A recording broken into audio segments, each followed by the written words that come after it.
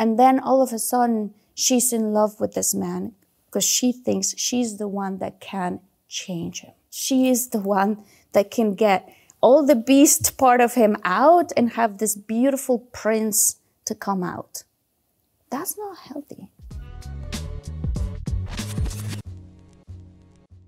I have someone I am so excited to bring to you today. Her name is Martha Higareda. She is an actor, a screenwriter, a producer, and an incredible friend. We talked for nearly two hours to my members about how to heal from past relationships, how to heal our inner child, how to be confident when we're on the road to love, especially if we feel like, despite there being lots of great things in our life, there's something missing because we haven't found love, and what to do with the feelings of wanting a family even though you haven't met your person yet, and how to plan for that. It is a truly inspiring interview from someone who has done so much inspiring work on herself and can bring it to you in one of the most eloquent ways I've ever seen. This is one of my favorite conversations I've ever had inside the Love Life Club, and I'm bringing you a portion of it here today. So enjoy. I present to you Martha Higareda. Of course, as we go through life, there are events and experiences that we go through that, whether we started with confidence or not, they can mm. really knock our confidence. Yes. They can take us to a very dark place. Yeah. They can make, make us question our worth.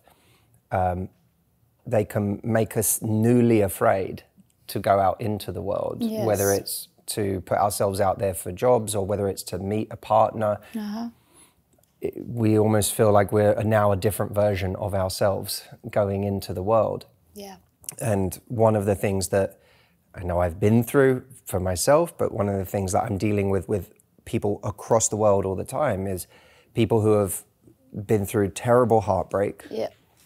People who have been through toxic or abusive relationships. Mm-hmm. People who have been in a relationship with a narcissist and had mm-hmm. to overcome that. Or I, maybe... I like I'm all of the above. oh, well, that's really helpful yes. because I I I want to talk to you. Yeah. One of the big themes of today's session with you yeah. is healing habits mm-hmm. after heartbreak, after toxic or abusive relationships, after narcissistic relationships.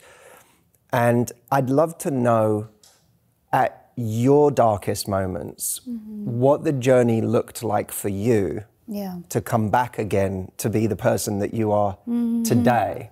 So if you could rewind back to that mindset, mm-hmm. what were some of the most helpful things you did for yourself in that time? I feel like, um, you know, it's interesting because I do write and I've been doing a lot of romantic comedies. I'm known in Latin America for being kind of like the queen of romantic comedies. and I realized that I was doing all these movies, Matt, but I was not fulfilled in love. That I would find myself relationship after relationship, you know, heart, heartbroken. And, and I was the common denominator in all of these relationships, right? Whether it was an okay relationship or a toxic relationship or with a narcissist or with, I got to a point for me that I was just with myself crying. And remember, I remember I had this conversation with myself in which I said, how come I don't know what's, what is this thing about love? Like, what is this thing about love? I consider myself a good person. I consider myself, you know, I mean, I work out, I take care of myself.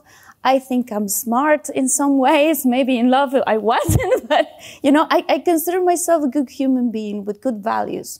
Why is it that I am not getting it? Like, where's the memo that nobody gave me? And then I realized, oh, it has a lot to do with my own wounds. I was attracting partners in my life that will complement me. And the reason why I'm using that word, that complement me, is because you complete me type of, you know, mm-hmm. idea. Is because a lot of romantic movies, they teach you all the fun part of how to fall in love. But they don't tell you what happens after that, happily ever after. And we grew up and I, I love Disney movies. There's something that you you and I and Audrey we all enjoy, you know, going to Disneyland. We were actually talking to your mom right before this about going to Disneyland. and I love it.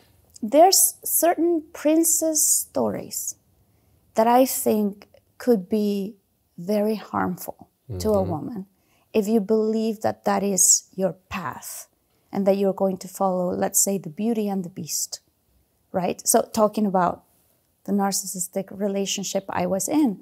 Um, in The Beauty and the Beast, she falls in love with a beast that treats, treats her horrible, mm-hmm. that locks her up in his castle. And then when she's trying to run away, she gets attacked by a pack of wolves, and then the beast defends her. And then all of a sudden, she's in love with this man because she thinks she's the one that can change him. That she is the one that can get all the beast part of him out and have this beautiful prince to come out. That's not healthy, in my opinion. This is my opinion, by the way. Oh, there, there's a.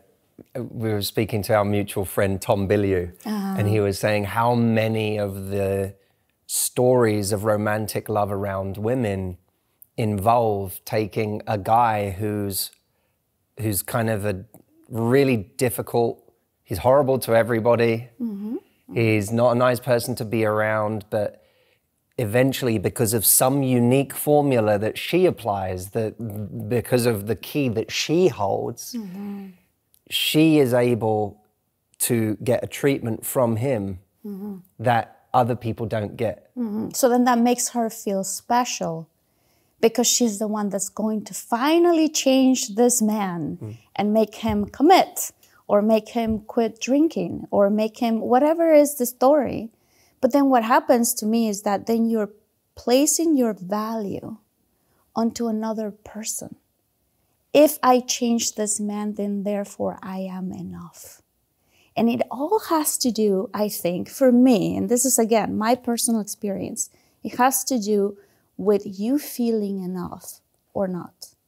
So I was in all of these relationships, in different kinds of relationships, coming into them from a wounded place. I had not healed the most important part of me, which is my relationship with myself and my self love. What would happen back then yeah. when you would come across somebody who had already done that work on themselves? Mm-hmm. Maybe they had healed a lot of parts of themselves. They were approaching relationships from a healthy way. Yeah.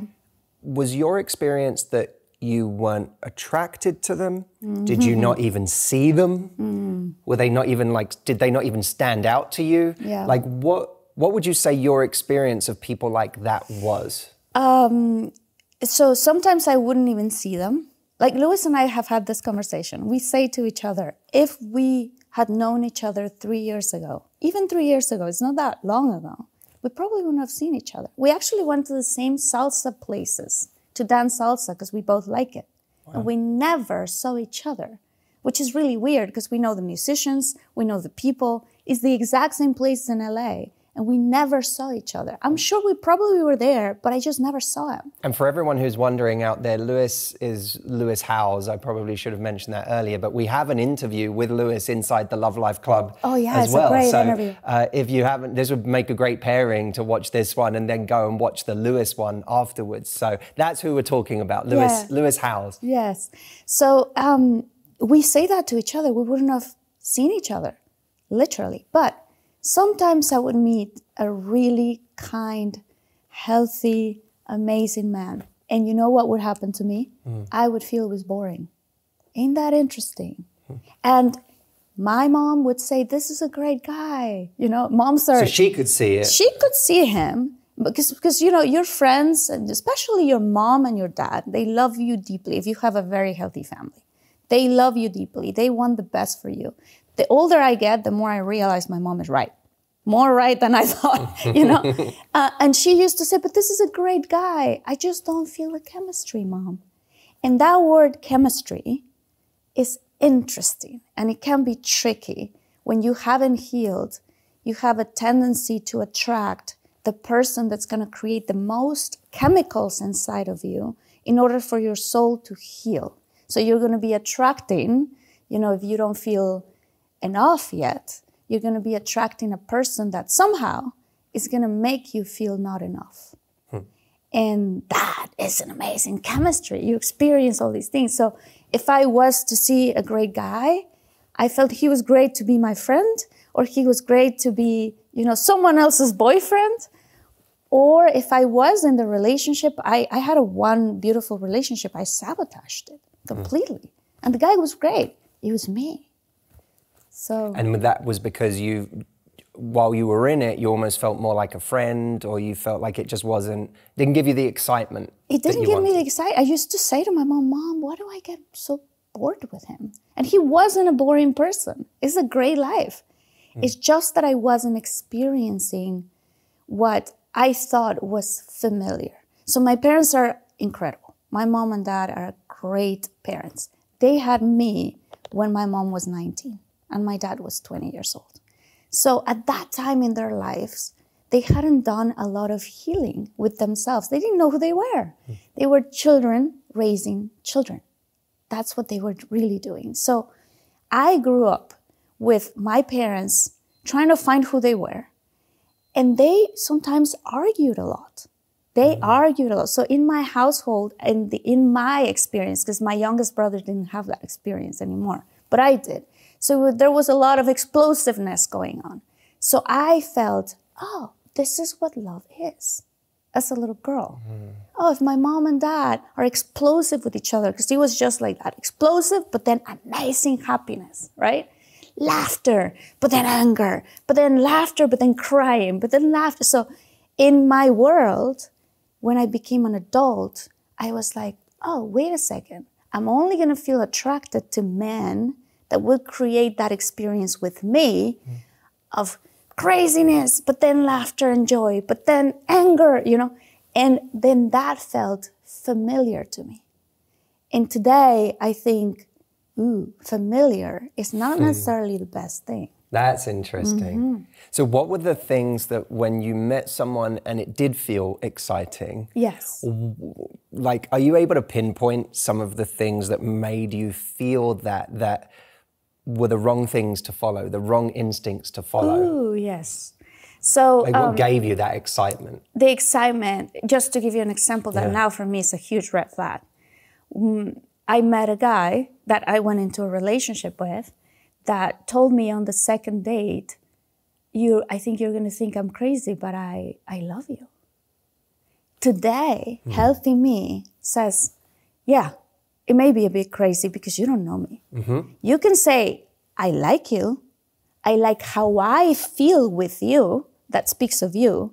But if you tell me, I think I love you on the second date, hmm, right? Another thing is that they would call, I mean, I'm talking about this specific person, yeah, right? Yeah. But I don't know, eight, nine times a day, hey, how you doing? And I felt seen, right? Oh my God, he's, you know, he cares about me. Mm-hmm.